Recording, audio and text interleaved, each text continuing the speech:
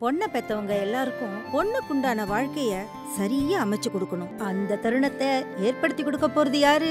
Wedding butterflies wedding butterflies நல்ல வரன் பார்க்கறது மட்டும்தான் நம்ம வேலை. மற்ற எல்லா வேலைகளையும் அவங்கள நம்பி ஒப்படைக்கலாம் சிங்கர் மாளவிகா சுந்தர கண்டிப்பா எல்லாத்துக்குமே தெரியும். சூப்பர் சிங்கர் நிகழ்ச்சி மூலமா எல்லாத்துக்குமே அறிமுகமானாங்க. அதுக்கப்புறம் அவங்க குரலுக்குன்னு தனி செட் ஆஃப் ஃபேன் பேஸ் வந்துருச்சு அப்படின்னே சொல்லாங்க ரீசெண்டா கூட ஒரு சில படங்கள்ல குட்டி குட்டி கதாபாத்திரம் பண்ணிட்டு இருக்காங்க. அண்ட் எப்போதுமே இன்ஸ்டாகிராம்ல பயங்கர ஆக்டிவா இருப்பாங்க அப்படின்னே சொல்லாங்க ரீசெண்டா கூட இன்ஸ்டாகிராம்ல அவங்களுக்கு வந்து தவறான மெசேஜஸ்லாம் வந்து பாத்தீங்கன்னா எடுத்து போட்டு பயங்கரமா வார்ன் பண்ணியிருந்தாங்க. அவங்க அவ்வளவு போல்டா அவுட் ஸ்போக்கனா பண்ண விஷயத்த நிறைய பேர் பாராட்டினாங்க. இப்போ வந்து பாத்தீங்கன்னா ஒரு ஹாப்பியான நியூஸை கூட இன்ஸ்டாகிராம்ல ஷேர் பண்ணிருக்காங்க ஆமாங்க நம்ம சிங்கர் மாளவிகாக்கு கூடி சீக்கிரம் டும் டும் டும் கல்யாணம் நடக்க போகுதாம் அது யார் அப்படிங்கறத இன்ஸ்டாகிராம்ல போஸ்டாவே போட்டிருக்காங்க. எஸ் அஸ்வின் அப்படிங்கிறவங்கள கல்யாணம் பண்ணிக்க போறாங்களா? அதை வந்து பாத்தீங்கன்னா இன்ஸ்டாகிராம்ல ஸ்டோரியா போஸ்டா வந்து பதிவு பண்ணிருக்காங்க அது வந்து இப்போ ரொம்ப வைரலா போயிட்டு இருக்கு அப்படின்னே சொல்ல முடியும். நிறைய celebrities and friends and super சிங்கர்ல participate பண்ண எல்லாரும் வந்து பாத்தீங்கன்னா வாழ்த்துக்கள் சொல்லிட்டு இருக்காங்க. சினலகம் சார்பாக நம்மளும் ஒரு பெரிய வாழ்த்துக்கள் தெரிவிச்சுக்கலாம்.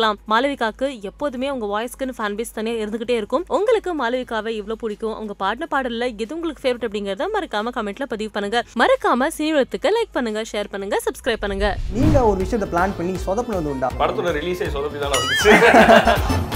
டான்ஸு ஸ்டண்ட்டு ஏரெல்லாம் பறந்து அது அந்த மாதிரி பண்ணிட்டேன் நான் இந்த படத்துல. ஆமா. சில இடத்துல பயங்கரமாக சிங்க் ஆனது தான் ராஜராஜ் இவங்க எல்லாம் சேர்ந்து தங்கத்துறையை வச்சு செஞ்சாங்க. யாரா நீங்கள் மலம் முழுகிங்களா?